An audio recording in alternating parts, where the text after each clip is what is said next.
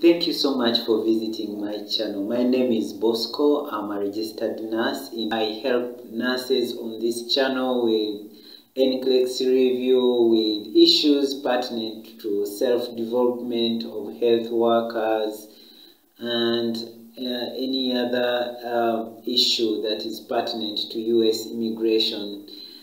Uh, welcome again to this channel and uh, yes, I'm going to talk about visa screen. What is this visa screen? It is a letter that you have to go with while attending your final interview at the US consulate in your country.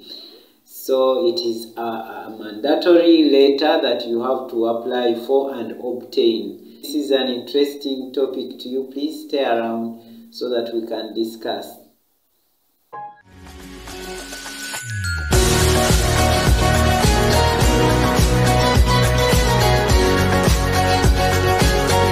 Again. So if you are new to this channel, please feel welcome and feel free to subscribe.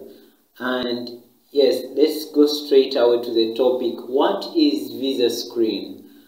Visa screen uh, is also known as Visa Credentials Assessment Service and according to CGFNS website, is a comprehensive screening service for healthcare professionals seeking an occupational visa to work in the United States. This, uh, uh, this certificate satisfies the United States federal screening requirements. So guys, this means that according to federal law, this letter should be obtained and uh, it is only CGFNS that is approved to give you this letter. And so this letter, to obtain it, you need to submit several requirements to CGFNS 1. Okay guys, so to take you through the requirements that CGFNS will need to issue you a visa screen letter, I will go straight here in my account. You can see that I'm also working on visa screen application. This is my account so I have already filled the the form the online form for CGFNS and they have already created for me an account. And you can see that for the service ordered I have ordered visa screen uh, uh, visa screen or visa credentials assessment. So when I click on this service you are going to see the details of the requirements that I need to fulfill in order to be issued that letter. So when we come down here, uh, you see my order requirements. This means these are the requirements I need to fulfill for them to issue me uh, to start working on my visa screen letter. So first of all, you need to pay $530 uh, so so that you you can be issued the forms for each of these other services other requirements. But if you are a nurse really don't worry. The agency that is sponsoring you to go to the United States will make that payment. Uh, so for other health workers you perhaps also uh, need to know that maybe you need to pay if you need to pay for yourself know that you have to pay first before CGFNS gives you forms for these other requirements. You also need to upload a photo. I have already uploaded my photo there. Uh, so you, that's why all these are in green because I have already submitted them. And these ones which are in red are I have not yet submitted them and CGFNS is waiting.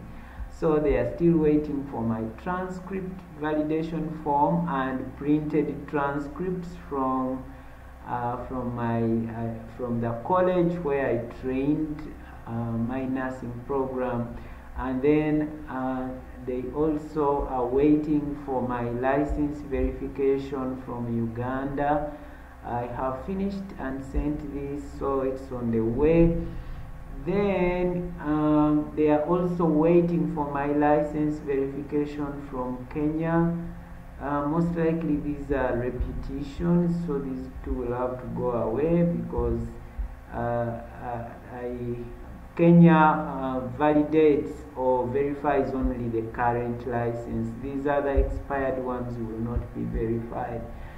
So um, if you are a nurse who holds licenses from more than one country, CGFNS will want all of them, all licenses that you have held uh, in those countries.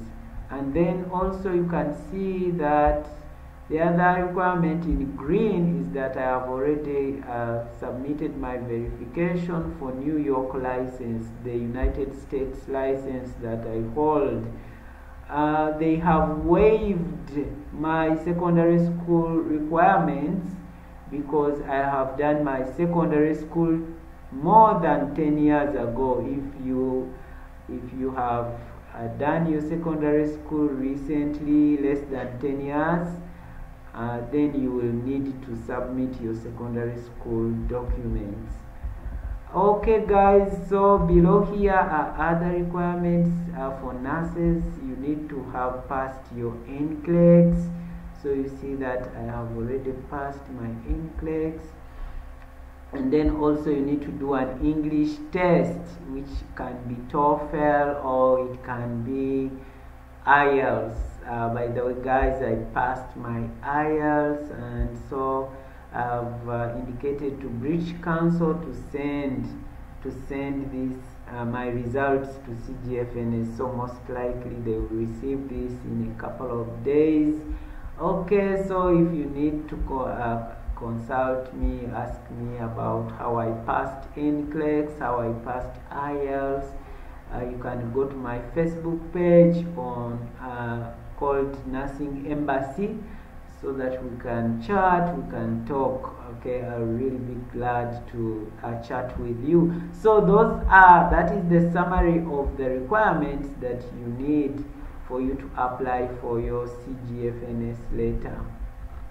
So those are the requirements for applying for visa screen later. However, I want to talk about something regarding IELTS. For United States immigration, you will be required to obtain uh, a band of 6.5 overall. So the total band overall in speaking, in listening, in writing and reading, overall you need to get 6.5. But for speaking, you need a 7. You need a 7 in speaking as a, a specific band. So that those are the requirements for IELTS for United States. Okay, someone may ask, so how long uh, does the, what is the validity for this visa screen letter?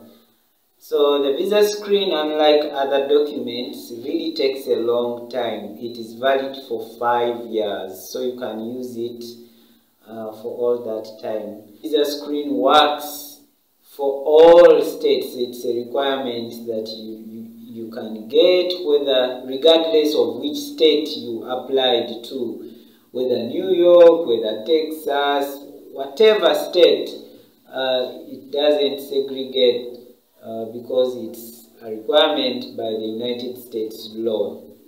Okay, so uh, someone may ask, when should I start applying for visa screen? Yeah, you can start as early as possible, but just know that uh, you need to already have your IELTS results or TOEFL or you need to have, uh, as well you need to have passed your NCLEX or any other uh, relevant exams. So don't apply too early when you do not have these documents because remember your application after you make your payment your application will uh, uh, will expire after one year and then you will have to make a new payment and pay uh, yes you have to make a new application and pay a new fee so do not start too early. Actually, you can start working on your visa screen after passing your NCLEX.